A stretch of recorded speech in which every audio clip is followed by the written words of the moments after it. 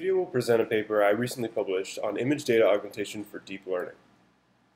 The motivation behind data augmentation is to prevent overfitting. Overfitting refers to a phenomenon when deep learning models with high capacity exactly model the training data such that they don't generalize to the testing data. This is shown in this image where as the training error decreases, the testing error actually increases rather than continuing to decrease with the training error.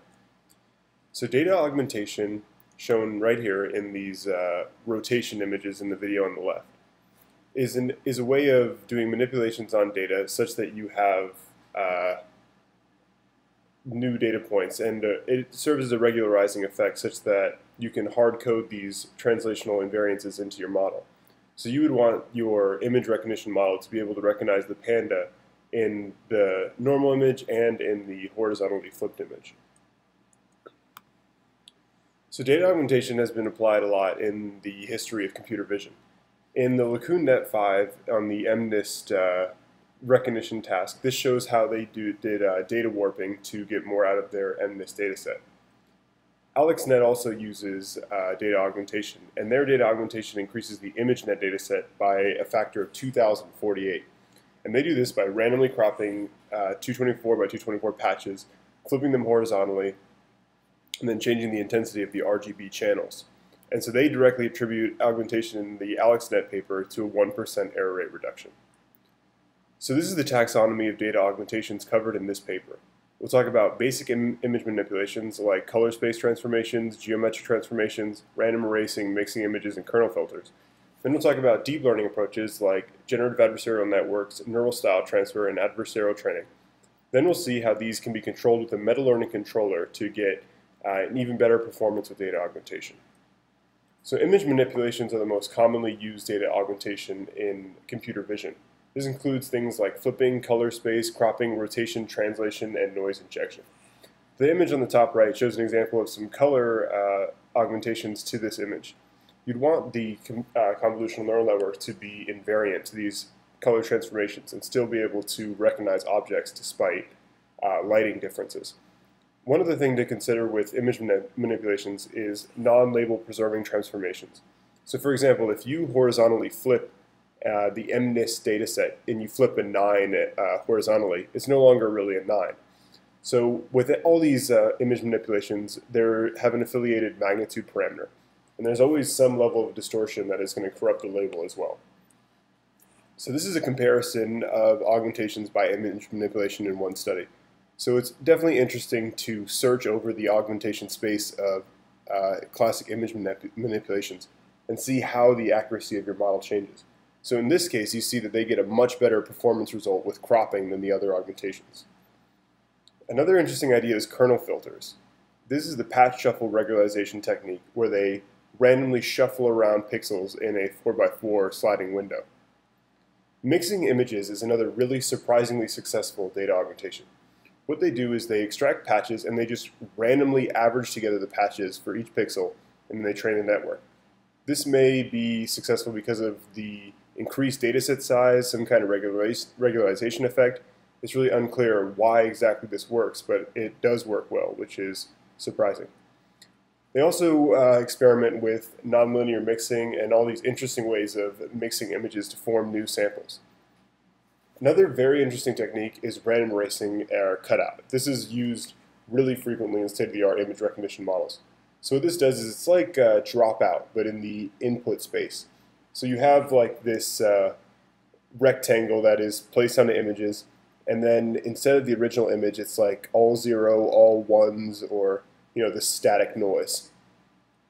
So this is the results of applying cutout in the cutout regularization paper and you see that they get a uh, like greater than 1% error rate reduction in almost all of the trials with it. Another interesting idea is feature space augmentation. So the way that convolutional networks work is they sequentially transform an image into a series of rank 3 tensors, where each dimension is uh, number of feature maps, uh, height and width of the feature map. So this study, they, uh, they augment the image representations in these intermediate tensors, and then they decode them back into the image space. Another interesting way of doing this is adversarial training. So in addition to the phenomenons of adversarial examples, we could have an adversarial agent which is uh, constrained to a set of image manipulations like rotations and translations, and is trying to select a geometric transformation that will result in a misclassification. And it is uh, beneficial to use these adversarial agents to direct the search process of augmentations.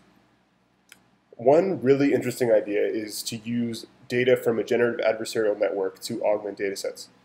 Generative adversarial networks, uh, as shown on the slide here, take random noise and then they learn to generate new data based on the discriminator's loss function of real or fake. So eventually the generator is able to produce novel data samples. So it's really interesting to see, and this hasn't really been shown to work uh, successfully on data sets like ImageNet, but on this uh, liver lesion classification data set, they use this uh, technique of generating data and then just appending it to the data set. And they get these uh, 78.6 to 85.7 and 88.4 to 92.4. But other than uh, this uh, medical image domain, this hasn't really worked well on things like uh, ImageNet or even uh, CIFAR 10. So another really interesting data augmentation that hasn't been explored too much is neural style transfer, using these uh, styles to augment images in interesting ways. And this goes beyond uh, just like color transformations. This really augments images in a semantic way.